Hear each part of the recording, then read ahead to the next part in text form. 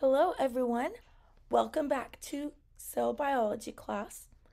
We are moving to chapter 12 if you are using the World of the Cell textbook with me. And in this chapter, we are talking about protein sorting, how proteins are made, and how they are moved to the various locations where they need to be. We are mainly going to talk about protein movement within the endomembrane system. When we talk about the endomembrane system, we are talking about the endoplasmic reticulum, the Golgi complex, endosomes, lysosomes, and the plasma membrane. In the endoplasmic reticulum and the Golgi complex, these two organelles are going to be doing protein synthesis, processing those proteins, and sorting those proteins. Endosomes are going to be carrying and sorting materials that's brought into the cell. Lysosomes are going to be digesting ingested material. So if a food source was brought in, it's going to be ingested, digested by the lysosomes. They're also going to break down unneeded cellular components. First, the endoplasmic reticulum is a continuous network of flattened sacs, tubules, and vesicles. Here, if you look in this picture, it is this lighter blue image. So these flattened sacs, and these tubules here. And they just uh, run throughout the cytoplasm of the cell. The membrane sacs are called the ER cisternae or cisterna, and the space inside of them is called the lumen. The word lumen we've used before typically refers to the interior part of something. Within the endoplasmic reticulum, or the ER, are different enzymes that are used to biosynthesize proteins or make those proteins that are going to be involved in the plasma membrane function or that are going to be involved in organelles of the endomembrane system or that are going to be exported from the cell. The endoplasmic reticulum is also involved in synthesizing lipids. There's two kind of different kinds of endoplasmic reticulum. As you can tell, there's these flattened parts with the bumps on them and these more tubular parts that don't have bumps on them. The parts with the bumps are rough, so they're called the rough ER. And these little bumps on them are ribosomes. They are making proteins. Within the rough ER, there's a subdomain called the transitional elements, or the TEs, and they're going to be involved in forming transition vesicles. Vesicles are what your cell uses to move things between various components. So within the ER, those transition vesicles are going to take lipids and proteins here from the rough endoplasmic reticulum to the Golgi. The smooth ER doesn't have ribosomes. Instead, it's going to help do other things in the cell besides protein synthesis. It can be involved in pro- processing and storing non proteins, maybe ions, maybe toxins, maybe lipids. The rough ER, these membranes form large flattened sheets while the smooth ER forms more tubular structures. However, within the rough ER, those, tubu- those transitional elements are going to be more resemblance of with the smooth ER. The luminal spaces of the rough ER and the smooth ER are continuous. Kind of hard to see in this picture, but they're all connected to each other. And both types of the endoplasmic reticulum are present in most eukaryotic cells, although in different types of cells, there will be variation in the relative amounts of these membranes. Cells that are involved in synthesizing secretory proteins are going to have much more prominent ER networks, and cells that are producing steroid hormones are going to have more extensive smooth ER networks.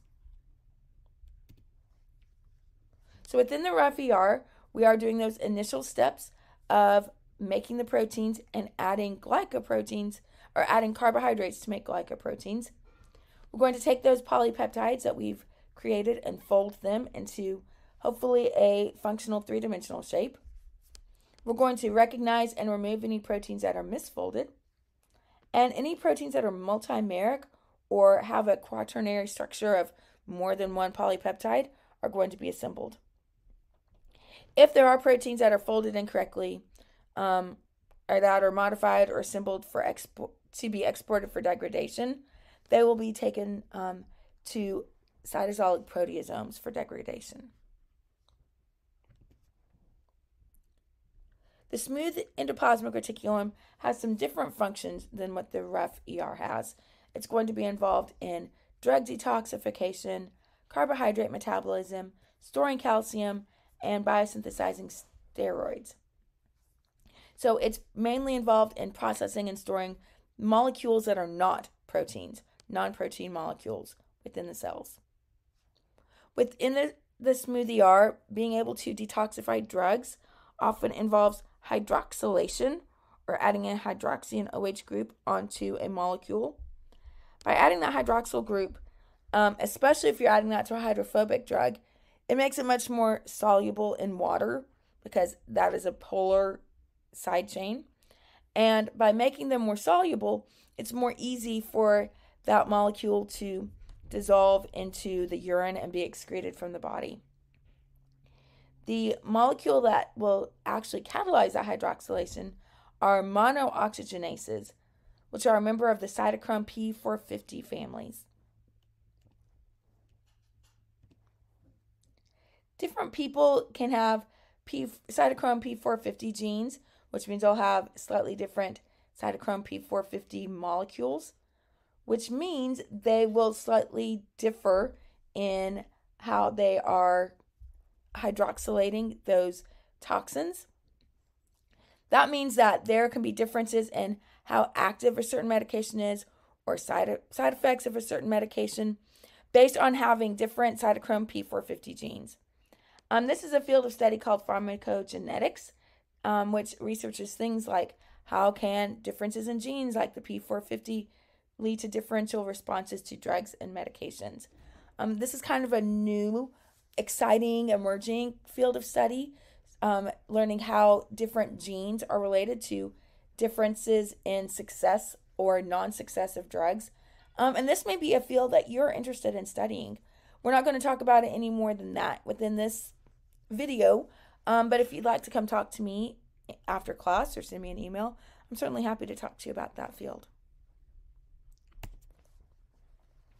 Okay, within the smooth ER and liver cells, the, this is also going to be involved in breakdown stored glycogen.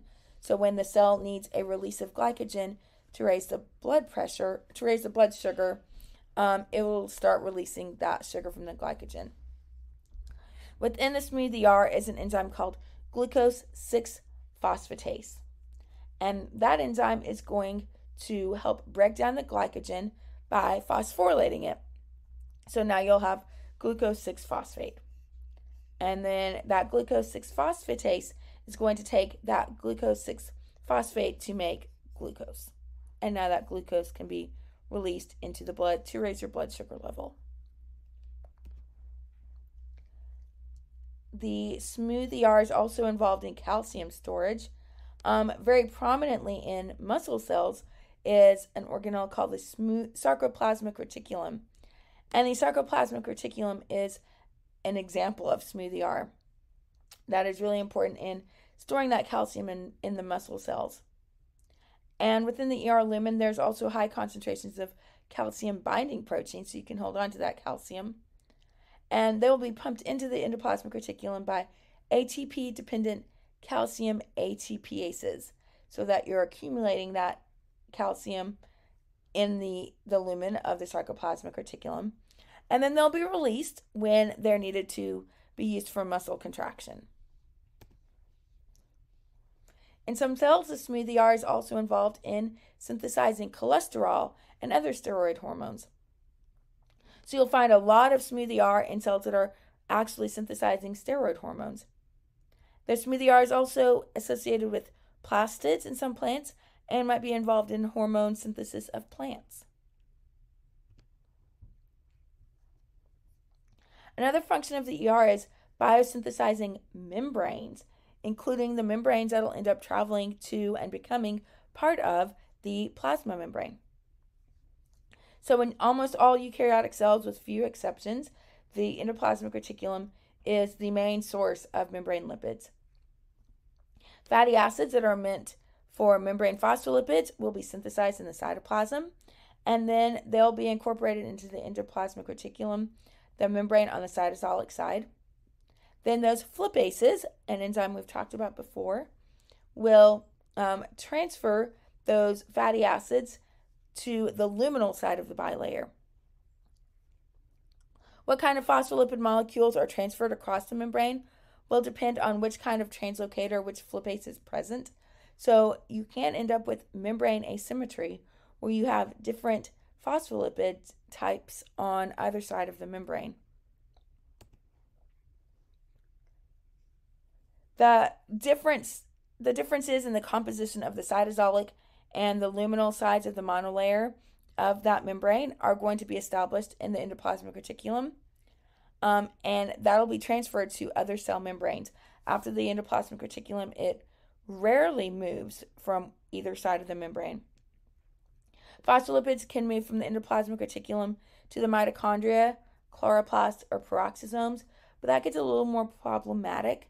And so, phospholipid exchange proteins or phospholipid transfer proteins are often going to be used to convey those specific phospholipids to those organelles. Here, let's start by looking at this table showing us different membrane components. So, membranes are made by um, carbohydrates a little bit. Their main weight comes from proteins and some lipids.